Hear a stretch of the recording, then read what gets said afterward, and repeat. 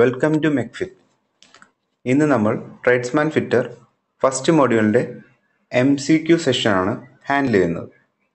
First question എന്ന് പറയുന്നത് what is the accuracy of steel rule in British system British സിസ്റ്റത്തിൽ steel റൂളിന്റെ accuracy എത്രയാണെന്നുള്ളതാണ്.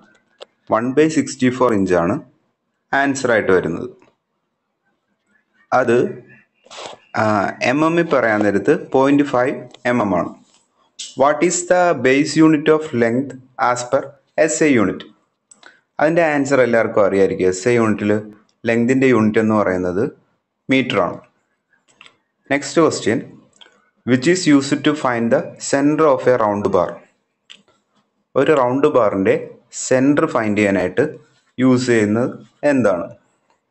അതിന് ആൻസർ എന്ന് പറയുന്നത് ജെനി കാലിപ്പറാണ് ഓക്കെ ഈ കാര്യങ്ങളെല്ലാം നമ്മൾ ആ മൂന്ന് വീഡിയോസിൽ ഡിസ്കസ് ചെയ്തിട്ടുള്ളതാണ്. Next question what is the accuracy of caliper using with steel rule ഒരു കാലിപ്പർ സ്റ്റീൽ റൂളുമായിട്ട് യൂസ് ചെയ്യാൻ നേരത്ത് അതിന്റെ ആക്യുറസി എന്ന് പറയുന്നത് സ്റ്റീൽ റൂളിന്റെ അതേ ആക്യുറസി തന്നെ ആയിരിക്കും. സ്റ്റീൽ റൂളിന്റെ ആക്യുറസി നേരത്തെ പറഞ്ഞായിരുന്നു point five m m okay what is the use of divider ഡിവൈഡറിന്റെ use എന്തൊക്കെയാണെന്നാണ് അടുത്ത ക്വസ്റ്റ്യൻ ഡിവൈഡർ വെച്ച് നമുക്ക് ലൈൻസ് വരക്കാൻ പറ്റുമോ ഇല്ല.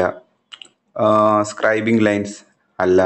സ്ക്രൈബിംഗ് സർക്കിൾ ഡിവൈഡർ വെച്ച് സ്ക്രൈബിംഗ് സർക്കിൾ അപ്പോൾ അതാണ് answer option C scribing circles next question എന്ന് പറയുന്നത് which material is used to make punch punch ഉണ്ടാക്കാനായിട്ട് നമ്മൾ യൂസ് ചെയ്യുന്ന മെറ്റീരിയൽ ഏതാണെന്നുള്ളതാണ്. ഹൈ സ്പീഡ് സ്റ്റീലാണോ അല്ല. ലോ കാർബൺ അല്ല. മീഡിയം കാർബൺ അതുമല്ല ഹൈ കാർബൺ സ്റ്റീലാണ് പഞ്ച് ഉണ്ടാക്കാനായിട്ട് നമ്മൾ യൂസ് ചെയ്യുന്നതെന്ന് ഓർക്കുക. പിന്നെ അടുത്ത ക്വസ്റ്റ്യൻ എന്ന് പറയുന്നത് what is the name of caliper shown in figure ഞാൻ ക്ലാസ് എടുത്തപ്പോൾ പറഞ്ഞിരുന്നു ഫിഗർ നമ്മൾ ശ്രദ്ധിച്ച് പഠിക്കണം എന്നുള്ള കാര്യം. അപ്പം ഇതിനകത്ത് നമുക്കൊരു സ്പ്രിങ് ഉണ്ടെന്ന് മനസ്സിലായി. ഓക്കെ അപ്പം ഫേം ജോയിന്റ് അല്ല രണ്ട് ഓപ്ഷനും അല്ല. സ്പ്രിങ് ജോയിന്റ് ഇൻസൈഡ് കാലിപ്പറാണോ ഔട്ട്സൈഡ് കാലിപ്പറാണോ ആണ് അറിയാനുള്ളത്. അതിൽ ഇതിൽ നമുക്ക് നോക്കാനുള്ളത് ഇതിന്റെ ആണ്. ലെഗ് ബെൻഡ് ചെയ്തിരിക്കുന്നത് ഔട്ട്വേർഡ്സ് ആണെങ്കിൽ. ഔട്ട്വേർഡ്സ് ആണ് ബെൻഡ് ചെയ്തിരിക്കുന്നതെങ്കിൽ അത് ഇൻസൈഡ് കാലിപ്പർ ആയിരിക്കും. ഓക്കെ നമ്മൾ നേരത്തെ ഒരു question വിട്ടുപോയായിരുന്നു. Which data is shown in figure നമുക്ക് രണ്ട് തരം ഡേറ്റ ഉണ്ടെന്ന് നമ്മൾ പഠിച്ചിട്ടുണ്ടായിരുന്നു. എഡ്ജ് ഡേറ്റ ഉണ്ടായിരുന്നു. സെന്റർ ലൈൻ ഡേറ്റ ഉണ്ടായിരുന്നു. ഇതിൽ സെന്റർ ലൈൻ ഒന്നും കാണിച്ചിട്ടില്ല. ഇതിൽ ഡേറ്റം കാണിച്ചിരിക്കുന്നത് ഈ രണ്ട് എഡ്ജസ് ആണ്. എഡ്ജസിൽ നിന്നാണ് ഇവിടെ ഡയമെൻഷൻ മാർക്ക് ചെയ്തിരിക്കുന്നത്. അപ്പം ഇത് ആൻസർ എന്ന് പറയുന്നത് എഡ്ജ് ഡേറ്റ ആണ്. Okay next question which marking media needs to be handled carefully as it is pois poisonous poisonous ആയിട്ടുള്ള മാർക്കിംഗ് മീഡിയ ഏതാണ് നമ്മൾ പഠിച്ചിരുന്നു അത് കോപ്പർ സൾഫേറ്റ് ആണ് answer how many grades of surface plates are available in machine shop work ഒരു machine ഷോപ്പിൽ എത്ര ഗ്രേഡ്സിലുള്ള surface plates ഉണ്ടെന്നാണ് നമ്മൾ പഠിച്ചത്. ഇപ്പോൾ എല്ലാവരും ആൻസർ ചെയ്യാൻ പോകുന്നത് ബി ആയിരിക്കും. അത് ആൻസർ തെറ്റാണ്. Surface plate grade one two three എന്നിങ്ങനെ മൂന്ന് ഗ്രേഡ്സ് ആണുള്ളത്. അതിൽ തന്നെ വൺ ആണ് നമ്മൾ കൂടുതൽ യൂസ് ചെയ്യുന്നത്. അപ്പം മെഷീൻ ഷോപ്പ് വർക്കിൽ ത്രീ ഗ്രേഡ്സ് അവൈലബിൾ ആണ്. അപ്പം ഓപ്ഷൻ ഡി ആണ് ആൻസർ പിന്നെ next question what is the type of angle plate is shown in figure ഇപ്പം ഫിഗർ ശ്രദ്ധിക്കാൻ പറഞ്ഞതിന്റെ കാര്യം ഇപ്പോൾ എല്ലാവർക്കും മനസ്സിലായി കാണും. ഏത് തരം ആംഗിൾ പ്ലേറ്റ് ആണ്? ബോക്സ് ആണോ? അല്ല. ബോക്സ് അല്ല. സ്യുവലാണോ? അല്ല. സ്ലോട്ടഡ് ടൈപ്പ് ആണോ സ്ലോട്ട് ഒന്നും ഇല്ലല്ലോ. അല്ല. അപ്പം ഇതിന്റെ ആൻസർ എന്ന് പറയുന്നത് പ്ലെയിൻ സോളിഡ് ആംഗിൾ പ്ലേറ്റ് ആണ്. Next question. Which marking media is prepared by mixing with water ഉള്ളി? അത് നമുക്കറിയാം. ചോക്ക് പൗഡറും വാട്ടറുമായിട്ട് മിക്സ് ചെയ്ത് വൈറ്റ് വാഷ് ഉണ്ടാക്കുന്ന കാര്യം. ഓക്കെ. അപ്പം വാട്ടറുമായിട്ട് മിക്സ് ചെയ്ത് ഉണ്ടാക്കുന്ന മാർക്കിംഗ് മീഡിയ എന്ന് പറയുന്നത് white വാഷാണ് where the larger surface plate is placed നമ്മൾ സർഫസ് പ്ലേറ്റ് സ്മോളറും ഉണ്ട് ലാർജറും ഉണ്ടെന്ന് പറഞ്ഞായിരുന്നു. നമ്മൾ സ്മോളർ സർഫസ് പ്ലേറ്റ് ബെഞ്ചിലായിരിക്കും വെക്കുന്നത്. ഓക്കെ ലാർജർ സർഫസ് പ്ലേറ്റ് ഒരു സ്റ്റാൻഡിലായിരിക്കും വെക്കുന്നതെന്ന് പറഞ്ഞു. അത് അയൺ സ്റ്റാൻഡ് ആൻസർ ബെഞ്ച് സ്മോളറിനാണ് ഓക്കെ മാറിപ്പോരുത്. അടുത്ത ക്വസ്റ്റ്യൻ എന്ന് പറയുന്നത് what is the name of the part marked X ഇവിടെ ഈ എക്സ് ആയിട്ട് മാർക്ക് ചെയ്തിരിക്കുന്ന പാർട്ട് ഏതാണോ? റിബാണോ അല്ല. ഓൾ ഫേസസ് മെഷീൻഡ് സ്ക്വയർ അതായിക്കോട്ടെ. എല്ലാ പാർട്ടും മെഷീൻഡ് സ്ക്വയർ ആണ്. ബോക്സ് ആംഗിൾ പ്ലേറ്റിന്റെ edges and ends machine surface ആണ്. ഇതെന്ന് പറയുന്നത് ടീ സ്ലോട്ടാണ് അവിടെയാണ് നമുക്ക് ബോൾട്ട് ഇട്ട് ഉറപ്പിക്കുന്നത്. അടുത്ത ക്വസ്റ്റ്യൻ എന്ന് പറയുന്നത് വൈ ദ റിബ്ഡ് റിബ്ഡ് അല്ല ribs are provided under the surface plate എന്തിനാണ് റിബ്സ് സർഫസ് പ്ലേറ്റിൽ കൊടുക്കുന്നതെന്നാണ്.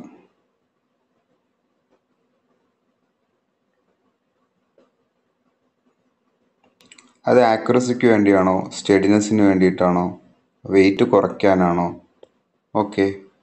ഇവിടെ റിബ്സ് കൊടുത്തിരിക്കുന്ന സർഫസ് പ്ലേറ്റിൽ സ്റ്റഡിനെസ്സിന് വേണ്ടിയിട്ടാണ്. Okay. Which marking media is used on filed or machined surface filed അല്ലെങ്കിൽ മെഷീൻഡ് സർഫസിൽ നമ്മൾ യൂസ് ചെയ്യുന്ന മാർക്കിംഗ് മീഡിയ എന്ന് പറയുന്നത് പ്രഷ്യൻ ബ്ലൂ ആണ്. അത് അതേപോലെ തന്നെ നിമി ടെക്സ്റ്റ്യൂക്കിലുണ്ട് okay.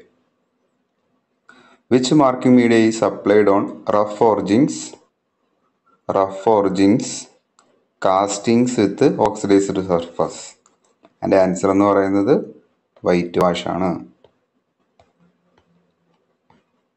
ഇതെല്ലാം നമ്മൾ ആ മൂന്ന് വീഡിയോസിലും ഡിസ്കസ് ചെയ്ത മോഡ്യൂൾ വണ്ണിന്റെ okay which process is used for finishing parallel block മൂന്നാമത്തെ വീഡിയോ കണ്ടവർക്ക് മനസ്സിലാവും.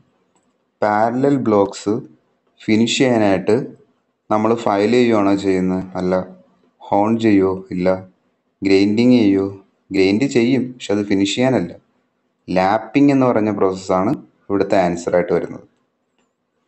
Which material next question which material is used to make parallel blocks parallel blocks parallel ബ്ലോക്സിനെ കുറിച്ച് നമ്മൾ പഠിച്ചിട്ടുണ്ടായിരുന്നു.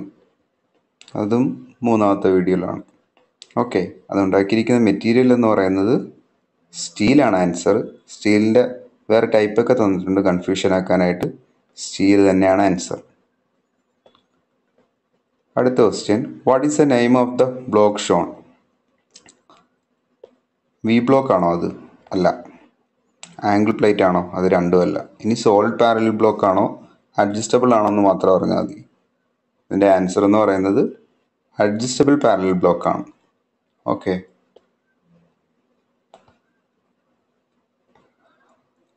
അടുത്ത question which part of combination set is used to mark and check angle of ninety degree and forty five degree ninety ഡിഗ്രിയും forty five ഡിഗ്രിയും mark ചെയ്യാനും check ചെയ്യാനും വേണ്ടി നമ്മൾ use ചെയ്യുന്ന കോമ്പിനേഷൻ സെറ്റിന്റെ പാർട്ട് ഏതാണെന്നാണ് ചോദിക്കുന്നത്. ഈ കൊടുത്തിരിക്കുന്ന നാലും കോമ്പിനേഷൻ സെറ്റിന്റെ ഓരോ പാർട്ടാണ് ഓക്കെ ഇത് പ്രൊട്രാക്ടർ ഹെഡ് എന്ന് പറയുന്നത് ഒരു ആംഗിളിൽ സെറ്റ് ചെയ്യാൻ വേണ്ടിയിട്ടാണ്. റിക്വേർഡ് ആംഗിളിൽ സെന്റർ ഹെഡ് എന്ന് പറഞ്ഞു കഴിഞ്ഞാൽ സിലിണ്ടറിക്കൽ ജോബ്സിന്റെ സെന്റർ കണ്ടുപിടിക്കാൻ. റൂൾ എന്ന് പറഞ്ഞു കഴിഞ്ഞാൽ ജസ്റ്റ് ആ ഗ്രാജുവേഷൻ മാർക്ക് ചെയ്യാനും പിന്നെ സെന്റർ ഹെഡ് ലൈൻ വരക്കാൻ വേണ്ടിയിട്ടാണ് ആ റൂൾ യൂസ് ചെയ്യുന്നത്. ഓക്കെ പിന്നെ ഡെപ്ത് അളക്കാൻ വേണ്ടി യൂസ് ചെയ്യും. ഇവിടുത്തെ ആൻസർ എന്ന് പറയുന്നത് സ്ക്വയർ ഹെഡാണ്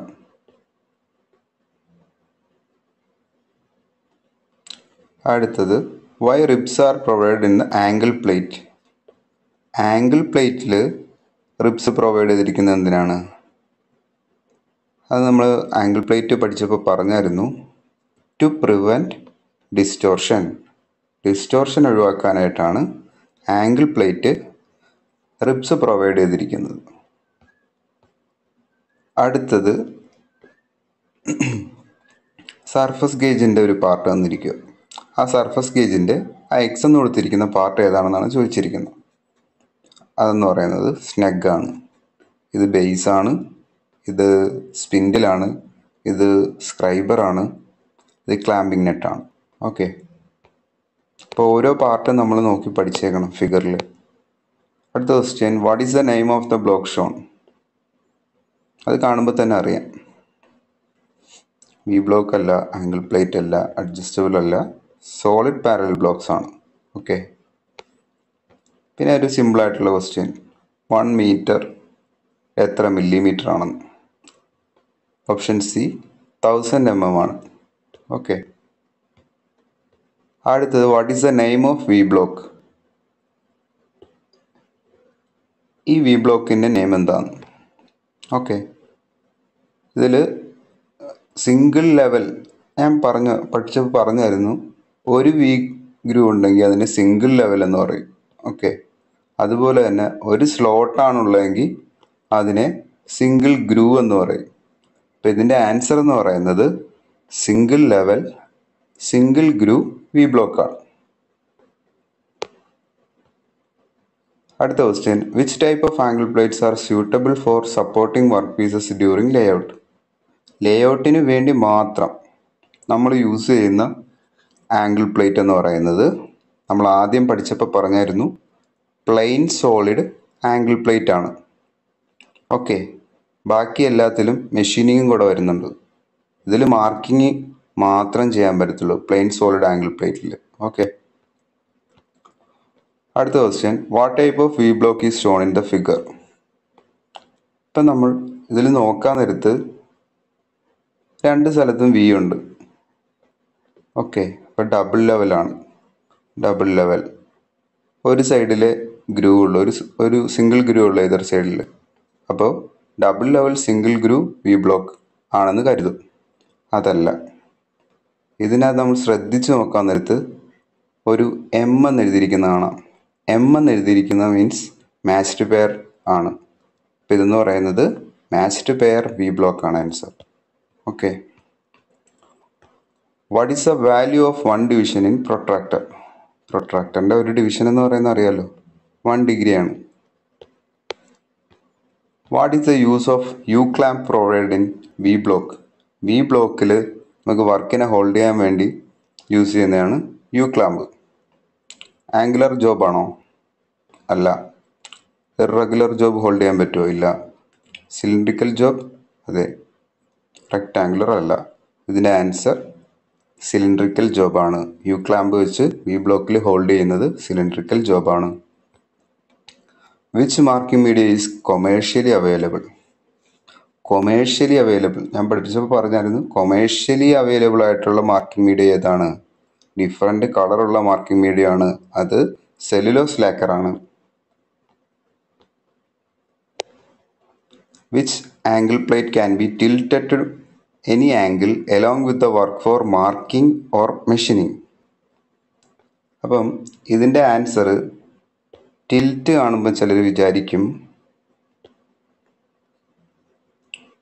സ്വിവൽ ടൈപ്പ് അല്ലേ എന്ന് ഓർക്കും. ബട്ട് അല്ല.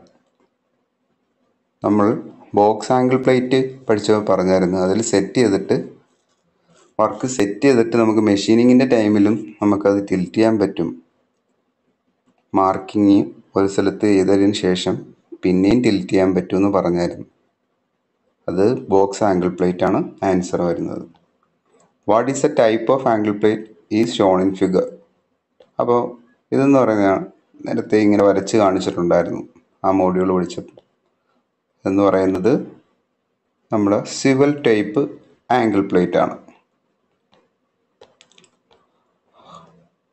അടുത്ത question what is the name of the caliper having one leg with adjustable divider point and other leg is bend ഒരു ഡിവൈഡർ പോയിന്റും കാണും മറ്റേ ലെഗ് ബെൻഡും ആണ് അതാണ് നമ്മുടെ ജെനി കാലിപ്പർ ജെനി കാലിപ്പറിന്റെ വേറെയും പേരുകൾ അറിയാലോ? എല്ലാം ഒന്നും കൂടെ പഠിച്ചു വെച്ചേക്കണം. ഓക്കെ അപ്പം ഇത്രയും ക്വസ്റ്റ്യൻസ് ആണ് ഈ മോഡ്യൂളിൽ നിന്ന് നമുക്കിപ്പോൾ ഡിസ്കസ് ചെയ്യാനുള്ളത്.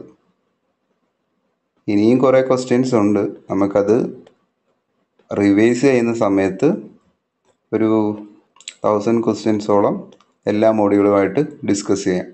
അത് നിങ്ങളുടെ എക്സാമിന് കൂടുതൽ ഹെൽപ്പായിരിക്കും ഓക്കെ അപ്പം മൂന്ന് വീഡിയോസും കാണുക. അതിനുശേഷം മാത്രം ഈ എം സി ക്യു ക്ലാസ് കാണുക. Okay Thanks for watching.